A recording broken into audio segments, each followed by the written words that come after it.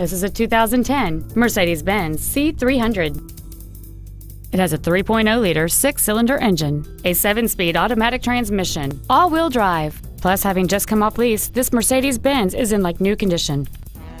Its top features include a sunroof, heated seats, aluminum wheels, and traction control and stability control systems.